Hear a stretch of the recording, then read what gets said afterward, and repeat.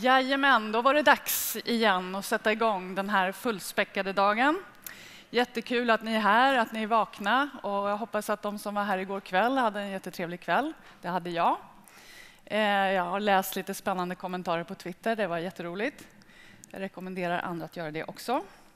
Eh, som sagt, det är bara att köra igång här och nu kommer Brås generaldirektör Erik Wennerström att först inleda och sen följer kriminalvårdens generaldirektör Nils Öberg. Sen kommer en liten kort bensträckare. Den ser kanske lång ut i schemat, men den kommer kännas kort för er. Eh, och vi vill gärna att ni är tillbaka på plats på era platser i den tiden som står i programmet. För då inleder sen Marie Torstensson Levander sin del. Eh, efter henne och innan fikat så kommer lite viktig information igen eh, som handlar om hur vi ska ta oss fram under dagen. Så då vill jag att ni är kvar och lyssnar på det. Men som sagt, vi börjar igen med eh, den nu inte längre så nya generaldirektören Erik Wennerström. Välkommen. Tack. Tack så mycket. God morgon Eh, och hjärtligt välkomna till Råd för framtiden och välkomna åter säger jag till eh, er som jag hade till, tillfället och nöjet att få träffa redan igår kväll. Eh, vi, jag ska inte försöka in extenso återge vad, som, vad vi diskuterade under gårdagen och vad som, som förevar då. Jag har sett på morgonen här att en del, en del nog menar att man skulle kunna summera det som hände annorstädes under gårdagen i orden tihi. Ehm, men eh, ska jag eh, säga någonting om hur vi, hur vi började eh, igår kväll så skulle jag vilja understryka några saker. Ehm, vi, vi fick en flygande start här igår genom att eh, energin och, och eh, det höga engagemanget från konferensen Drogfokus som avslutades här igår på något, på något sätt fortsatte in här i vår konferens och det märktes på diskussionerna här igår. Mycket, mycket stimulerande tycker jag. Eh, vi eh, fick några välkomstord utav eh, Lars Stjernkvist, från eh, Norrköpings kommun som ville hälsa oss välkomna hit. Och det jag tar med mig från de, de många kloka ord han sa, det var ett citat han lämnade med oss. Det är alltid för tidigt att ge upp, sa han. Och det tycker jag var väldigt klokt och någonting man kan ta med sig in i, i eh, reflektioner och, och tankar om, om, om, samverkan och samarbete. Eh, Paul Dawson från London eh, gav oss en presentation här om ett projekt i London Eh, finansierat av Home Office som heter The Diamond Initiative. Eh, där han, han eh, delade med sig både utav eh, framgångsfaktorer men också faktorer som kan få eh, verksamhet som syftar till att förhindra återfall i brott att gå bra eller gå mindre bra. Och det är viktiga lärdomar att ta med sig. Jag försökte mig på att, att, att eh, förklara varför det är så lämpligt att vi befinner oss här i en lokal som heter Louis De Geer, eh, genom att understryka hur han tog med sig kunskaper ifrån eh, Vallonien framför allt vad det gällde stålhanteringen hit till Sverige som vi blev både klokare och på sikt rikare utav. Eh, och som eh, ledde till en utskeppning utav dessa förädlade produkter, bland annat just från Norrköpings hamn. Så därför är det ju mitt i prick att det är här vi står idag. Eh, Brottsförebyggande rådet har under de senaste åren ägnat mycket stort fokus åt återfallsfrågan och det har kommit till uttryck på flera olika sätt. Ett eh, exempel som ni eh, alla har i era påsar som jag hoppas ni har fått när ni har registrerat er här, det är den idéskrift Eh, om att samverka för att förebygga återfall i brott. Den har precis givits ut och ger en orientering i frågorna runt det återfallsförebyggande arbetet från forskningshåll, från juridiskt håll och också från rent praktiskt håll. Vi hoppas att den ska vara till stor nytta. Eh, Brå har, eh, publicerar också från från och med i år, 2012, eh, ny statistik över återfall i brott.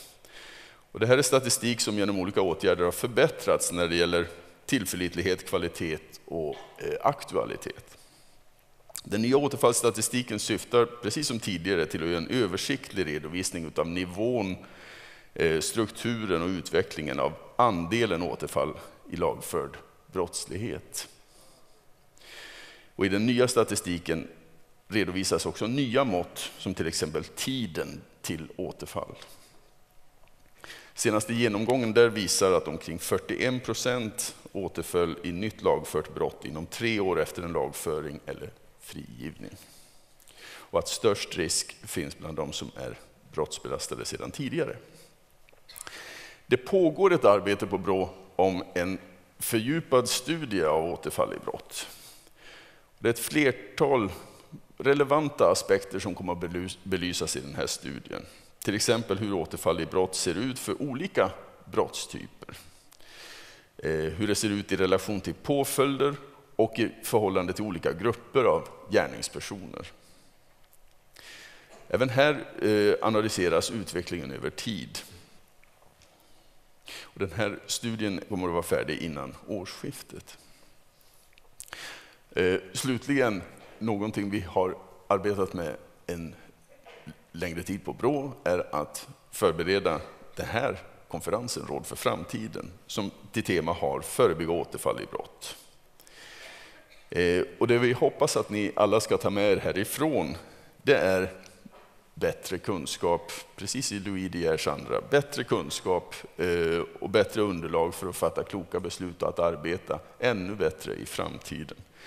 Nya erfarenheter som har delats eh, med bland andra deltagare och presentatörer som leder till effektiva arbetssätt för att förebygga återfall i brott. Med det sagt eh, så skulle jag vilja eh, hälsa välkommen, alldeles särskilt välkommen till Nils Öberg. Nils Öberg som är eh, generaldirektör och chef för kriminalvården och ordförande i polisorganisationskommittén. Bland många meriter tidigare expeditionschef på justitiedepartementet. Nils eh, kommer att eh, presentera sin myndighetsuppdrag och eh, presentera reflektioner över samverkan för att förebygga återfall i brott. Nils Öberg, välkommen.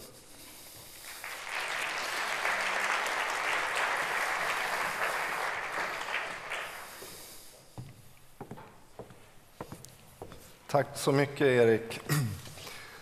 Ehm, ja, jag åkte från Stockholm tidigt i morse och jag måste säga att jag har förstått att ni hade en trevlig kväll här igår kväll. Så jag är lite imponerad över att så många har slutit upp så tidigt här på morgonen. Ehm, kriminalvården är en myndighet som eh, lever sitt liv lite grann i skymundan, tycker jag. Eh, detta trots att det är en av de största statliga verksamheterna. Så låt mig, låt mig passa på det här tillfället och ändå säga några ord om, om, om vår myndighet och vårt uppdrag och sen glida in lite mer på det som jag tycker är ett, ett eh, fantastiskt intressant tema. Det, och eh, stort tack Erik också för att ni har dragit ihop till denna stora konfer konferens på just detta tema. Vi eh, inom min myndighet är, är såklart ohyggligt intresserade av frågeställningen och eh, det känns som att vi är på ständig jakt efter nya idéer och uppslag till eh, hur vi kan förbättra och utveckla vårt arbete, vårt återfallsförebyggande arbete. Nu ska vi se. Har vi fått upp några bilder här? Ja. ja man, kan beskriva kriminalvårdens uppdrag på många olika sätt, men det brukar sammanfattas i de här fyra rubrikerna. Det vill säga att verkställa utdömda straff, att transportera frihetsberövade, att minska återfallen i brott eh, och att genomföra personundersökningar till stöd för domstolarna. Eh, och jag brukar gruppera de här i, i, i, två grupper. De två första, att verkställa straffen och transportera, det är, det är nattväktarstatens eh, kärnuppgifter. Det här är en uppgift som kriminalvårdsmyndigheter har och som ser ungefär likadant ut över hela världen. Eh, det är också de två uppdragen som är, eh, skulle jag vilja säga, helt centrala för myndighetens trovärdighet. Alltså hur vi hur väl vi lyckas med att faktiskt också verkställa och se till att de straff som utdöms blir verkställda, ja det påverkar i hög grad hur allmänheten uppfattar myndigheten och vilken trovärdighet vi har i nästan allt annat som vi gör. Eh, de två sista punkterna, att minska återfallen i brott och genomföra personundersökningar som ju är en väldigt stor del av vad, vad kriminalvården gör, ehm, ja, det är lite speciellt. Alltså här skiljer och sticker kriminalvården ut lite grann också internationellt. Det finns förvisso andra kriminalvårdsmyndigheter som har ehm, både uppdrag och ambitioner på de här områdena. Men här vill jag nog påstå att Sverige ligger väldigt långt framme eh, och, och, eh, och faktiskt är lite grann av ett föregångsland. Alltså när jag är ute och träffar mina kollegor i andra länder Eh, så lyssnar man väldigt noga på vad, vad, vad Sverige har att säga i de här delarna. Och, och det finns en vetskap eh, om att vi har kommit väldigt långt på de här områdena i Sverige. Ja, hur ser våra utmaningar ut då? Det här känner några av er säkert till. Eh, men utmaningarna är många och de är, de är, de är svåra. Eh, de här siffrorna är naturligtvis väldigt grova, vi har inget liksom exakt eh, underlag. Men ungefär så här brukar vi beskriva eh, utgångsläget. 60-70 procent av våra intagna och klienter har ett missbruk när de kommer till oss. Och ofta är det här då ett missbruk som, som de har haft under väldigt, väldigt lång tid. Eh, 70-80 procent har någon form av personlighetsstörning. 25 procent brukar vi säga har någon slags diagnos, ADHD, Asperger, psykisk ohälsa eh, eller något liknande. 30-40 procent lider dessutom av en, en, eh, lider av en depression. Och är man inte deprimerad när man kommer till oss så, så är risken ganska stor att man blir det ganska snabbt efter det att man har kommit till kriminalvården. Merparten av våra klienter saknar fungerande sociala strukturer eh, och som Erik sa tidigare, ungefär 40 procent återfaller eh, i något brott som renderar en ytterligare kriminalvårdspåföljd. Ja, det är dessutom så att vi bestämmer ju inom kriminalvården inte vilken tidpunkt vi kommer in eh, i våra klienter och intagnas liv. Det gör domstolarna och i någon mån de själva. Eh, majoriteten av dem avtjänar straff som understiger ett år. Ungefär en tredjedel har strafftider som är kortare än sex månader. Och av den gruppen så är ytterligare en tredjedel eh, avtjänar straff som, som eh, understiger två månader. Eh, och det är dessutom så att de flesta återfallen, också som Erik sa, återfaller, eh, är, är de som har strafftider som understiger sex månader. Så kombinationen av den problembild som våra klienter och intagna har och de oftast extremt korta tider som vår myndighet har att göra någonting meningsfullt med dem, ja det är vår utmaning. Och det gör att oddsen att lyckas med det återfall, åter, återfallsförebyggande arbetet inom kriminalvården, ja de är inte, de är inte lysande kan man säga med de förutsättningarna. Eh, och det innebär att vad vi måste göra till att börja med det är att förbättra de oddsen. Alltså att skapa så goda förutsättningar som det bara överhuvudtaget går att bedriva ett kvalificerat eh, återfallsförebyggande arbete. Och här är säkerhetsarbetet helt avgörande. Och jag vill gärna understryka det därför att den vanligaste frågan som jag får, eh, inte minst när jag träffar media, det är Eh, om, om, om kriminalvården nu kommer att, eftersom det har varit ett så stort fokus på säkerhetsarbetet, om det nu kommer att bli ett mindre fokus på säkerhetsfrågor och mer fokus på innehåll i verksamheten. Och det här beskrivs ofta som två stycken, eh, om inte motpoler, så, så i alla fall två stycken helt olika slags verksamheter. Så ser inte vi på säkerhetsfrågorna inom kriminalvården. För oss är hela säkerhetsarbetet en grundförutsättning för att vi ska kunna göra ett bra arbete i nästan alla andra delar av, av myndighetens eh, arbete. Vi måste ha lugn och ro i verksamheten om vi ska kunna nå eh, framgång med våra insatser. Eh, alla hot och allt våld i kriminalvården polisanmäls numera omedelbart. Det finns nolltolerans på det området. Vi är, vill jag påstå, en så drogfri miljö som, som, som man kan bli. Vår senaste stickprovsundersökning som genomfördes för, jag tror att det är någon månad sedan nu, eh, resultatet av den var 0,77 procent träff. Eh, och vi har aldrig haft så lite eh, träffar i, i, i vår stickprovskontrollverksamhet tidigare. Och jag undrar om det går att komma så värst mycket längre. Eh, och då är det ändå ett mycket stort antal stickprov som görs över hela landet slumpvis. Eh, så att vi har, myndigheten har varit oerhört framgångsrik under de senaste 6-7 åren att få bort narkotikan eh, och andra preparat ifrån våra anstalter och avdelningar. Och så var det inte tidigare. Det är också en förutsättning naturligtvis för mycket av både motivations och behandlingsarbetet att det redan från början är en drogfri miljö som vi jobbar i. Likabehandlingsprincipen är också viktig för oss. De normer, regler och rutiner som finns i kriminalvården, ja de gäller och de gäller lika för alla. Eh, och en sista punkt som är helt central för oss, det är att det är vi som har kontroll över hela verksamheten. Eh, och det betyder flera olika saker. Det betyder att det är vi som bestämmer var någonstans klienter avtjänar sitt straff. Ja, det finns en närhetsprincip eh, som vi ska ta hänsyn till när det är motiverat. Ibland är det viktigt att människor får avtjäna sina straff i, i, den, eh, i, i, närhet av den miljö där de är uppvuxen eller där de har sina familjer. Men ibland är det faktiskt också så att det är direkt olämpligt att de eh, avtjänar sina straff eh, i, en, i, i, sin hem, i sin hemort och därför ska göra det på något annat ställe. Det är kriminalvården som placerar klienter eh, över våra anläggningar. Och det är dessutom så att det är kriminalvården som ska ha kontroll över, över verksamheten i våra anstalter och, och på våra häkten. Eh, och det där kan kanske i ett svenskt perspektiv låta fullständigt självklart att det ska vara så, men det kan jag lova att så är det inte internationellt. Jag var i Danmark för inte så länge sedan eh, och besökte den danska kriminalvården. Eh, och där är det långt ifrån den danska kriminalvården som styr och ställer ute på avdelningarna.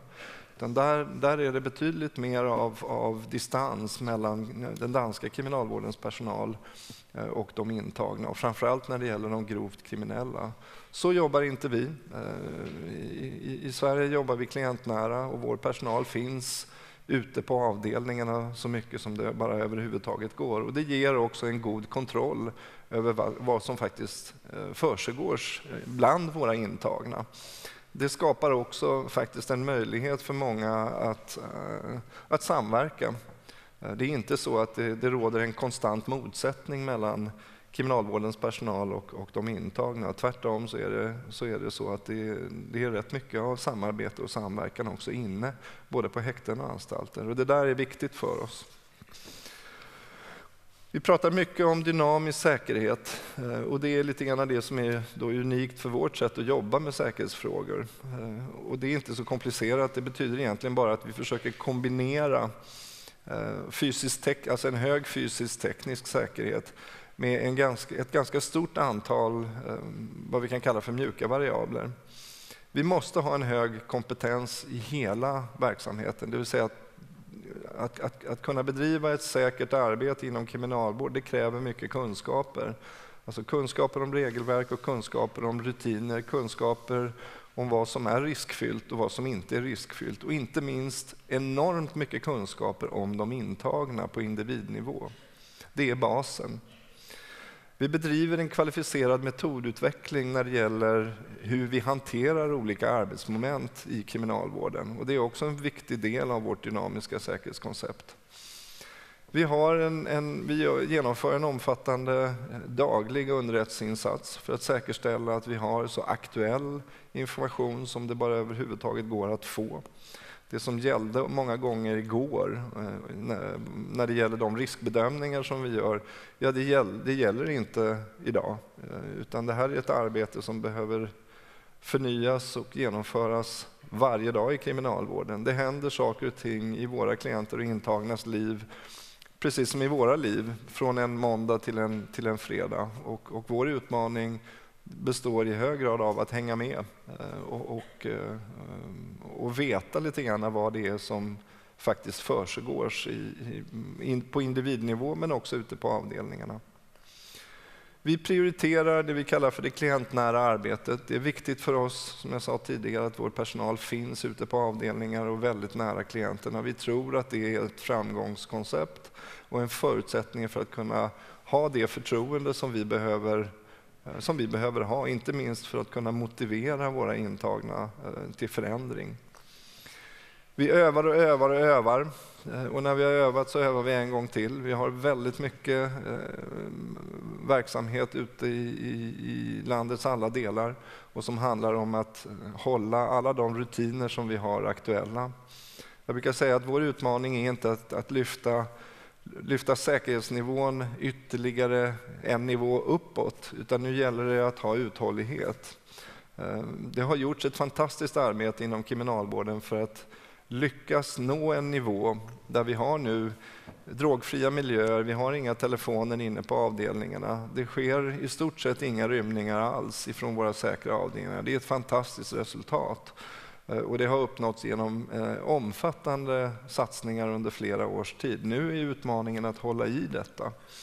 Eh, och det ska hålla många, många decennier framöver. Så att, att få till en ordning som innebär att allt det vi gör, att kunskapen om varför vi gör det kan bibehållas över tid, ja det är vår riktigt stora utmaning på säkerhetsområdet just nu. Och för att säkerställa detta så genomför vi då ganska många Eh, inspektioner ute i verksamheten.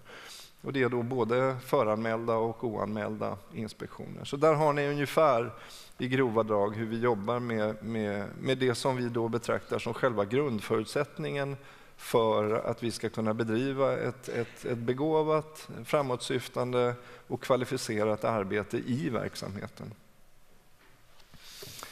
Ja, vårt återfallsförebyggande koncept då. Ja, många av er känner säkert till det här, men jag drar igenom det lite snabbt ändå. Vi, eh, vi jobbar med en, en, eh, ett individuellt perspektiv. Vi ser våra intagna och klienter som individer och det betyder att alla de verkställighetsplaner som vi gör, ja, de är individuella. Det finns inga kollektiva inslag i detta, utan var och en har med sig sin problematik in i myndigheten och då är det vår uppgift att också försöka konstruera Eh, ett program, en, en plan för, för hur den här verkställigheten ska se ut. Ehm, det är otroligt viktigt att vi gör det och att vi också lyckas anpassa de här planerna just till de behov som, som alla har.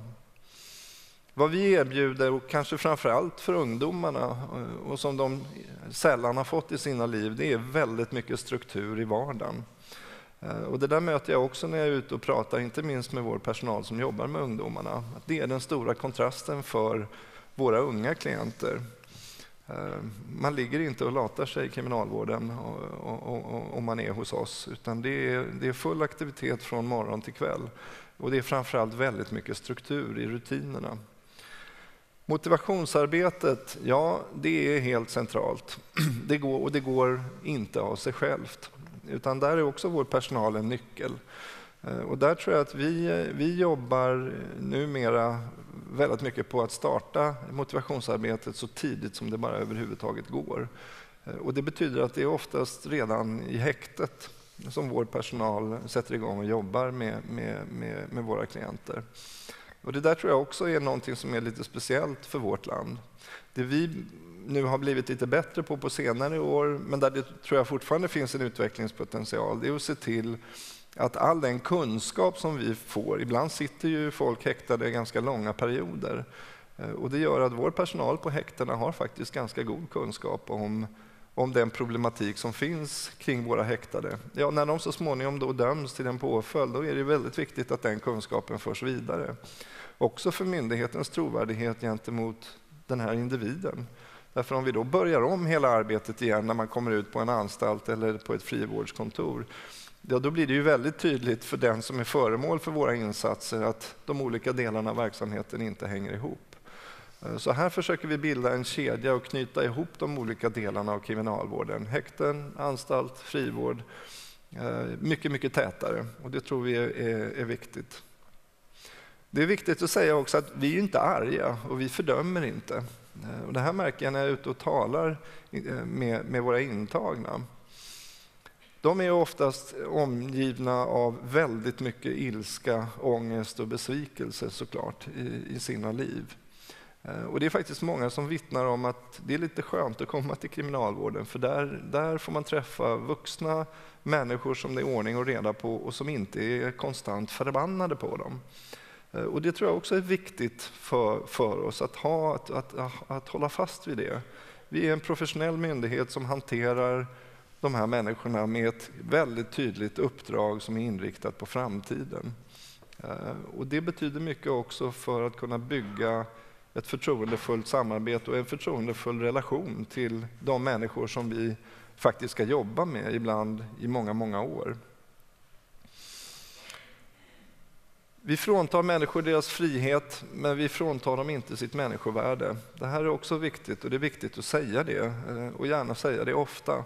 För det finns ibland, jag möter i alla fall ibland en föreställning om att ja, straffet är inte bara att man är frihetsberövad om man nu sitter i fängelse till exempel, utan man får gärna ha det lite dåligt också under den här tiden. Det ska, det ska märkas, det ska kännas att man har gjort fel Eh, eh, och, och det får gärna så att säga, få utslag på många olika fronter. Alltså den, den synen har ju inte vi inom kriminalvården, utan vi arbetar utifrån en, en, en normaliseringsprincip och som innebär att eh, även de som är, är frihetsberövade ska naturligtvis ha rätt till, till, till det, de, de stödinsatser som samhället i övrigt har att erbjuda. Är man sjuk så ska man få vård. Behöver man tandvård så ska man få tandvård. Behöver man annan form av, av stöd och hjälp så ska man ju ha rätt till det också. Så för oss är det viktigt att se helheten kring den problematik som de intagna har och det faktum att man är frihetsberövad, ja, det är vad vi jobbar med.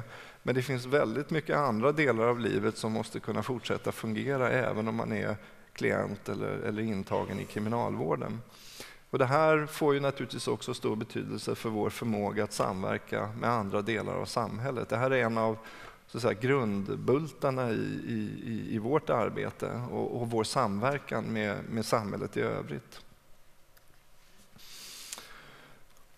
Att motivera till förändring, ja det är ju första fasen i det vi gör. Jag nämnde det tidigare också. Det tidiga, motivations, eh, alltså tidiga motivationsinsatser tror vi är helt avgörande. Vi har i budgetpropositionen fått ett uppdrag från regeringen att jobba särskilt nu och intensifiera våra insatser mot unga dömda.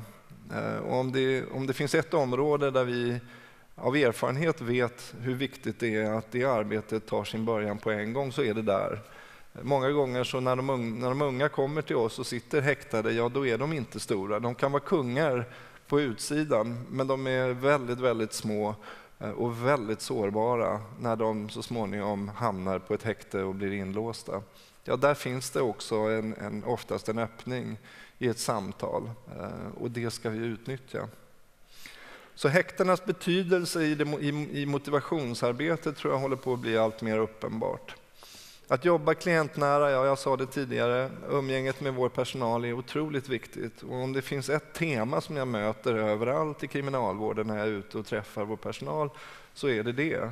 Alltså vi behöver mer tid med de intagna. Vi behöver vara ute på, på avdelningarna, vi behöver prata med dem eh, och vi behöver vara en del av den kultur framför allt som, som etableras. Eller rättare sagt, om vi inte är ute på avdelningarna så, vi, så, vet vi att det etableras kulturer bland de intagna eh, som, som, är, som det är viktigt att bryta. Och enda sättet att få fatt på det, det är att faktiskt vara där och prata med de intagna och få informationen och få förtroendena. Det får man inte om man sitter bakom en tjock eh, glasruta. Det är också viktigt i motivationsarbetet att se till hela livssituationen. Alltså många gånger så har våra klienter en otroligt komplex problembild med sig in när, när, när vi ska jobba med dem. Eh, för oss är utmaningen att se, att se det ur ett brett perspektiv. Ett exempel är att väldigt många, och som vi kanske tidigare inte har uppmärksammat eh, tillräckligt mycket, det är att väldigt många av våra intagna är till exempel föräldrar. De har barn. Om inte barnen mår bra och om man inte själv har en bra relation till sina barn, ja då är det naturligtvis väldigt svårt att fokusera på någonting annat. Då tenderar, och det vet alla vi som är föräldrar, då tenderar barnen att äta upp oss.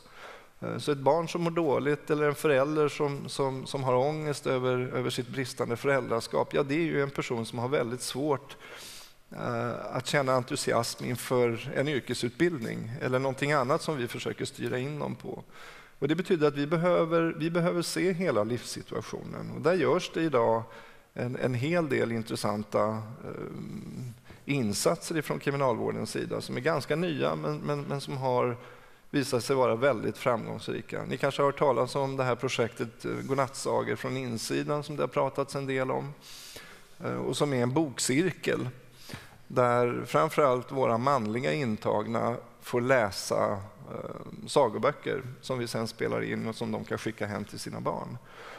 Och det, där är, det där är en fantastisk verksamhet som både handlar om att få vuxna män att läsa böcker överhuvudtaget, att få lyssna till sin egen röst, att få respekt för sin egen röst. Många av dem har aldrig någonsin läst en bok högt och skäms eh, i början för att de inte kan det. Ja, när de sen lyckas göra det, och det är inga komplicerade texter som ni vet, det är ju ganska enkla texter, men bara att ta sig över den lilla tröskeln och sen dessutom ha en CD-skiva med sin inspelade röst som man kan skicka hem har betytt enormt mycket för, för att få förtroende Eh, och inte minst att skapa en motivation.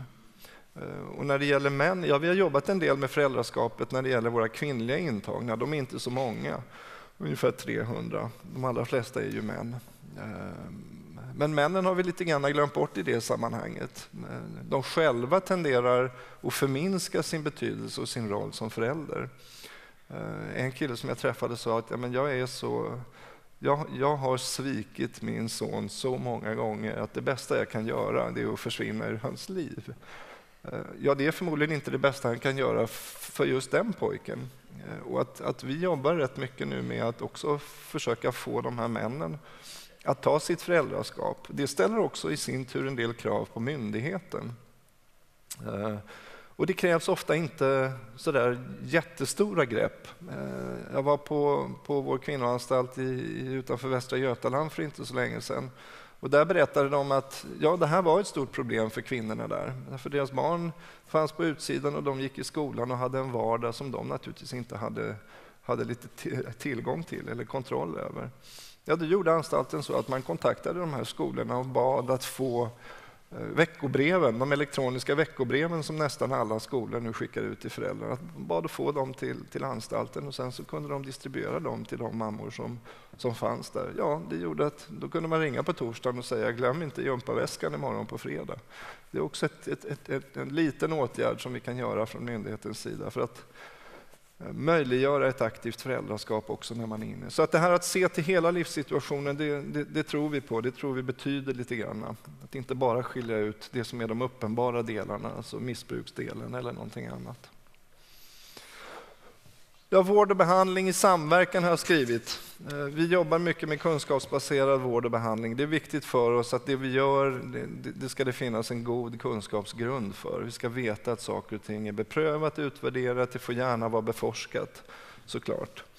Med tanke på hur många av våra klienter som är beroende och missbrukare så är hela beroendeproblematiken helt central. Det här är ju en livslång följeslagare för många av våra klienter och intagna. Vi har ett projekt i Norrtälje som handlar om ADHD-medicinering som ni kanske har hört talas om. Det där är kontroversiellt. Eh, det är många som ifrågasätter om kriminalvården ska administrera eh, mediciner av, av den här karaktären för att behandla just den här typen av problematik. Vi kan konstatera att det forskningsprojekt som har bedrivits i Norrtälje och som faktiskt är lite intressant, det är faktiskt ett projekt som, de, som vår personal själva har tagit initiativ till. Därför de konstaterade att de här killarna som sitter där uppe, eh, de har behandlats så många gånger eh, och de kommer tillbaka gång efter gång efter gång. Så det var faktiskt vår personal som sa att det är någonting som är fel.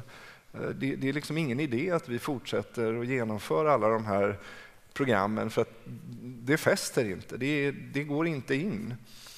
Och det var så det här projektet startade. Att man tänkte att ja, det, det, det, vi, vi kör en ADHD-behandling. Här får vi se vad som händer och resultaten är förbluffande.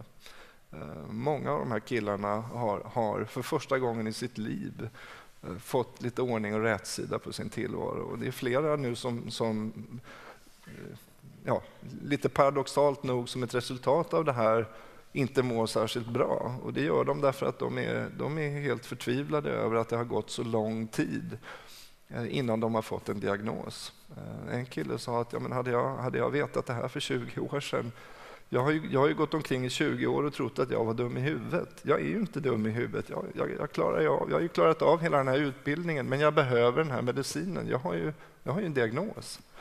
Så det har varit fantastiskt för dem att få den här diagnosen, inte alla såklart, men, men flertalet har, har tagit till sig våra behandlingar efter det att de har medicinerats. Så att vår uppfattning är att ja, adekvat medicinering kan också hjälpa i, i det återfallsförebyggande arbetet.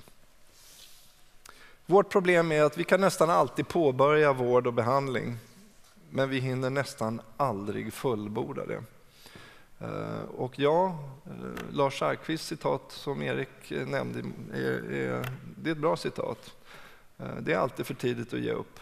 Men för vår del så betyder samverkan med andra allt. Ehm, vi, vi, vi, är en del av detta och den som läser budgetpropositionen kommer också att se att där har ju regeringen då i sin ambition, eh, eller uttrycker då en ambition att återfallen i brott måste minska och pekar tydligt ut kriminalvården som, som, som en motor i det arbetet. Men säger också i samma, i samma andetag att vi inte är ensamma. Vi är inte ensamt ansvariga för att det här arbetet ska röna framgång. Vi behöver vara fler. Eh, och för oss, jag satte bara upp några punkter här. Samarbetet med klienternas hemkommuner är för kriminalvården helt central. Och det gäller inte bara i, i utslussarbetet, men vi behöver ha ett nära samarbete på kommunal nivå på, på, inom många olika områden. Eh, och där har vi ett mångårigt samarbete som ni vet som fungerar väldigt, väldigt bra eh, på väldigt många ställen, men inte överallt. Så här finns det en utvecklingspotential Eh, och jag kommer i alla fall för min del att försöka verka för att det samarbetet ökar och fördjupas och att kvaliteten höjs. Vi ska inte glömma bort frivilligorganisationerna. De betyder väldigt, väldigt mycket för oss. Vi har många representanter för flera olika frivilligorganisationer som kommer till oss, inte minst på våra häkten. Eh, och det är vi väldigt tacksamma för. Därför det här gänget hjälper oss också att bryta isoleringen eh, för människor. Det är, det är otroligt välkommet när vi får besök utifrån. Det här är en grupp människor som är väldigt engagerade eh, och som avsätter av sin fritid för att komma och föra samtal med, med våra klienter i häktena eh, och berätta om den verksamhet som de representerar. Det betyder väldigt, väldigt mycket för oss och jag kan säga att vår personal är oerhört glada över att få de här besöken. Samverkan krävs naturligtvis på individnivå. Där har det gjorts ganska mycket under lång tid. Eh, men jag tror att det behövs också en samverkan på strategisk nivå. Vi behöver utnyttja statens samlade kompetens för att vi ska nå framgång i det återfallsförebyggande arbetet. Vi jobbar mycket med Arbetsförmedlingen, socialtjänsten, kommunerna idag eh, på individnivå, men inte lika mycket på strategisk nivå. Eh, vi gör det numera med Arbetsförmedlingen eh, med, med mycket goda resultat eh, faktiskt. Och det kan leda till att helt nya idéer dyker upp. Jag kan nämna att vi nu har planer på att öppna en ny kvinnoanstalt utanför Göteborg. Och det är en gammal bondgård som kriminalvården hyr sedan många år tillbaka. Det har varit en mansanstalt en gång i tiden men vi bedriver ingen verksamhet där längre. Eh, där träffade jag generaldirektören eh, för Arbetsförmedlingen i februari, tror jag det var. Och hon berättade då för mig att eh, hon hade blivit kontaktad av Svensk Travsport som letar med ljus och lykta efter människor som är utbildade i, till att sköta djur. Det finns massvis med människor som vill, som vill tävla med de där hästarna och som vill träna travhästar men det finns för, för få människor som är beredda att, att jobba med dem i så att säga, basorganisationen. Och om kriminalvården då har en bondgård som står tom eh, i, i västra Sverige eh, och vi letar efter möjligheter att bedriva en lite mer kvalificerad verksamhet för, för våra kvinnliga intagna. Och som sagt, de är inte många. De är ungefär 300, men de har en väldigt, väldigt besvärlig problematik med sig. Eh, och de är dessutom de är dessutom har en mycket svagare ställning på arbetsmarknaden typiskt sett än männen. Eh, och här behöver vi göra någonting. Ja, nu undersöker vi möjligheterna att utnyttja då den infrastruktur vi har i form av den här bondgården, att flytta verksamheten för våra kvinnor i, i, i Västsverige dit eh, och kunna starta en, ut, en, en, en yrkesutbildning i djurskötsel med inriktning på hästar. Men det här förutsätter naturligtvis också att vi har ett partnerskap med näringslivet. Alltså de saknas lite grann i den här ekvationen. Därför om Arbetsförmedlingen finansierar en yrkesutbildning, vi tillhandahåller infrastrukturen och genomför den, ja sen ska de ju ut eh, och då behövs det jobb. Och då tänker jag mig att ja, men varför inte ett, ett partnerskap då med näringslivet i Västra Götaland? Eh, och i det här fallet då Svensk Travsport till exempel. De kan gärna få, få erbjuda oss ett antal praktikplatser dit de här kvinnorna, när de är färdiga hos oss, kan praktisera sina kunskaper under en period. Kanske innebär det att de också kan få jobb, vilket naturligtvis är en förutsättning för att det långsiktigt ska lyckas. Sista punkten, sen ska jag avsluta. Eh, tempoväxlingar är ett problem. Vår uppfattning är eh, i kriminalvården att tiden går olika fort på insidan och utsidan. Det är i alla fall många som beskriver det så. Många av de klienter som jag träffar. Eh, och det var väl en av de saker som jag blev kanske mest förvånad över när jag kom till myndigheten. Men nästan alla intagna jag pratar med säger att ja, men tiden går så fort när vi är hos er. Det är där ute som det går långsamt. Och det där tror inte jag vi har riktigt klart för oss. Vi har olika tempon. Det som, eftersom vi erbjuder så pass mycket av strukturerad tillvaro i kriminalvården och det händer saker och ting varje dag så upplever man att tiden hos oss går väldigt fort. Sen kommer man ut och där är man, där är man heltidsarbetslös. Har ingen social struktur kring sig. Har ingen anledning att gå upp på morgonen. Ja, då går tiden väldigt, väldigt långsamt. Och om vi då erbjuder ett fortsatt stöd med tanke på att vi kan, på, vi kan påbörja väldigt många aktiviteter i kriminalvården men som någon annan måste ta vid och avsluta för det mesta. Ja, om tidsutdräkten då är väldigt, väldigt lång och i ett normalperspektiv kanske den inte är det. Alltså för oss vanliga dödliga människor så är 12 veckor det är väl ingen tid. Det går blixtsnabbt, särskilt om man har många barn som går i skolan. Så är 12 veckor ingenting. Men men, men det är inte det perspektivet som är relevant. Utan 12 veckor för en ung människa som har tillbringat ett år i kriminalvården men som, fort, som fortfarande behöver rätt mycket stöd och hjälp när han eller hon kommer ut, ja det är en livstid. 12 veckor är en enormt lång tid. Det är, det är 24 gånger hur många dagar som helst som man kan hitta på knasiga saker. Och här tror jag vi har ett problem.